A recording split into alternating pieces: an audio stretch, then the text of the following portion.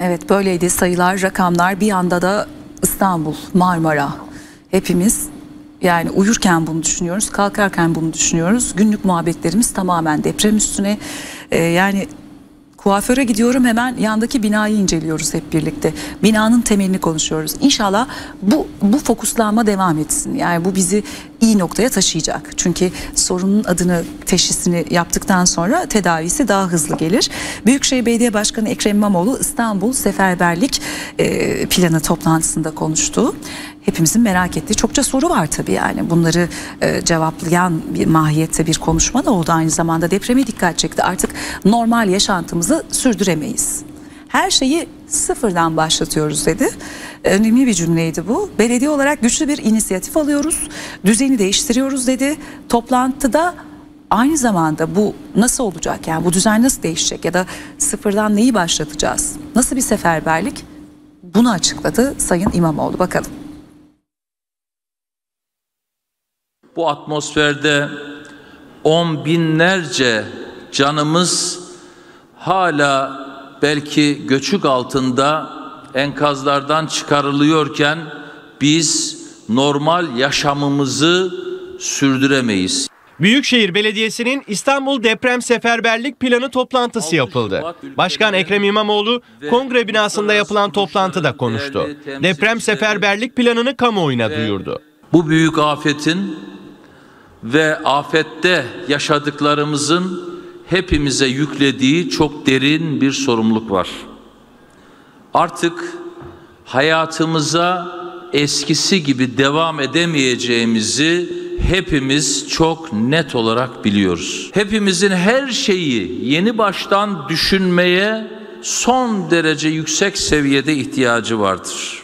İmamoğlu artık tartışmalar bir tarafa bırakılmalı. Deprem İstanbul için kaçınılmaz bir gerçek ve beka meselesidir dedi. Bundan sonra deprem tartışması, fay hattı tartışması, deprem nerede olacak, ne zaman olacak, olacak mı olmayacak mı, hangi büyüklükte olacak tartışmalarını terk etmeliyiz, bir tarafa bırakmalıyız. Gelecekte ayakta kalabilmek için deprem dirençli ve yerleşim alanları ve deprem dirençli kentler yaratmak zorundayız. Bugün itibariyle İstanbul Büyükşehir Belediyesi olarak güçlü bir inisiyatif alıyoruz.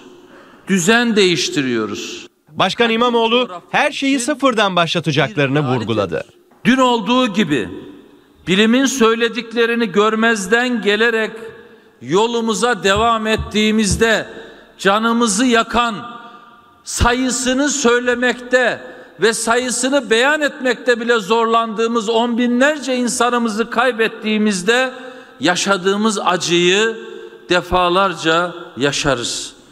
O bakımdan görmezden gelerek yolumuza devam etmemiz mümkün değildir. Bu kadim şehri dirençli bir kent haline getirmek için her şeyi tekrardan sıfırdan başlatıyoruz. İmamoğlu İstanbul güçleniyor sistemiyle maliyetine güçlendirme yapacaklarını açıkladı. Mart ayının ortasından itibaren başvuru almaya başlayacaklarını ifade etti. Yanlış giden bir düzenin bir parçası olmaktan net olarak kurtulmak gerekir. İstanbul Yenileniyor kampanyası dahilindeki sıfır faizli finansman projesiyle de 1 milyon liraya kadar finansman desteği verileceği duyuruldu. Projede öncelik yüksek riskli yapılara verilecek. Onaylanan projelerden faydalanmak isteyen vatandaşların hane içi toplam gelirinin net asgari ücretinde iki katından fazla olmaması gerekiyor. Buna göre şartlara uyan vatandaşlar 10 yıllık ödeme ile faiz ödemeden konutlarını yenileyebilecek.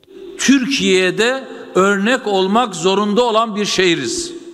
2 milyar 900 milyon lira bütçe belirlenen projede bir yılda 14.077 konutun dönüşümünün finanse edilmesi planlanıyor. Projeden faydalananlar için kira desteği de verilecek. Çevre Şehircilik ve İklim Değişikliği Bakanlığı'nın verdiği katkı üzerinden kiracıya 3 katını ve toplam 12 ay, maliklere 3 katını ve 18 ay, hali hazırda bağımsız birimlerde yaşamayan maliklere 2 katını ve toplam 18 ay destek verileceği belirtildi. Antakya'ya bağlı Madenboyu köyünün altından geçen fay hattı tarlayı ikiye böldü. Ya bildiğiniz kabak gibi ortadan ikiye böldü. fay hattı fay hattı zemin vesaire diyoruz ya. Belki de ilk kez bu kadar yakından nedir bu fay hattı nasıl zarar verir? Toprak nasıl böyle ikiye bölünürün adeta vesikası gibi haber. Bakalım. Depremi görünce, deprem anını görünce hani Allah korusun e, acaba kıyamet mi kopacak diye düşündüm. Fay hattının ikiye böldüğü çiftlik metrelerce çöktü. Bir tanesi bizim depoya, tarım deposuna denk geldi. İşte traktörler altında kaldı, gübremiz, tarım malzememiz. Bir tanesi de oturduğumuz binaya doğru gitmiş. Allah'tan 20 metre bu taraftan sağa dönmüş. Yani bizim eve Allah korusun denk gelmiş olsaydı icabında canımızdan da olurduk. Antakya'ya bağlı Madenboyu köyünün altından geçen fay hattı, Emir Bozkurt'a ait patates çiftliğini ve tarım arazisi için kullandığı depoyu ikiye böldü, toprak 4 metre çöktü. Koskoca arazi deprem nedeniyle işte bu hale geldi. Deyim yerinde ise yer yarıldı. Toprağın üzerindeki her şey yerin dibine girdi. Bizim buradaki depoyu ortadan yardı. Çiftlik sahibi Emir Bozkurt o korku dolu anları böyle anlattı. Hani ben dedim bir sallantıdır durur. Hızlı sallanmaya başlayınca bu sefer çocuklarla aileyle beraber kendimizi kurtarmaya çalıştık.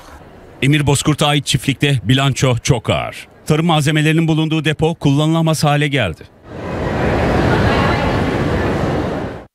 Evet çocuklar kavga etmesin, çocuklar gülsün, eğlensin, birbirine yardım etsin.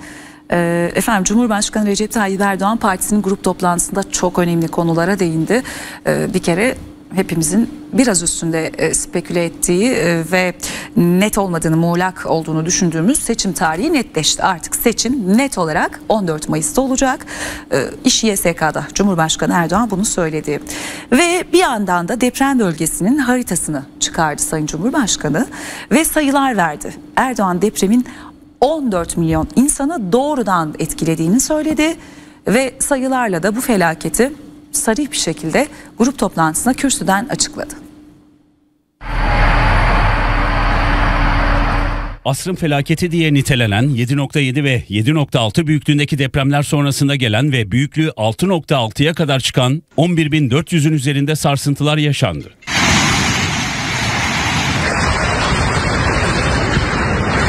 ...11 ili sarsan deprem yoğun kış şartlarında 14 milyon insanı doğrudan etkiledi.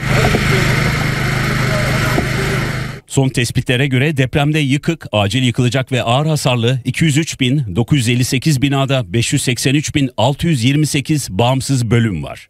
Bunların %98'i de 2000 öncesi yapılan binalardan oluşuyor. Sadece yıkık durumdaki bina sayısı 31 bin, bağımsız bölüm sayısı 89 binin üzerinde.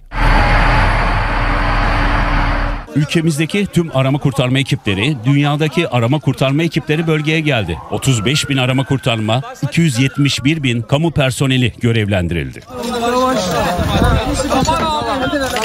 Bölgeye gönderilen iş makinesi sayısı 15 bin, uçak sayısı 78, helikopter sayısı 115, gemi sayısı 38 oldu. Güncel tespitlere göre deprem bölgesinde 392.350 konut ve 75.681 köy evinden oluşan toplam 468.031 hane inşa edilecek. Mart ayında 21.244 konutun inşasına başlanacak.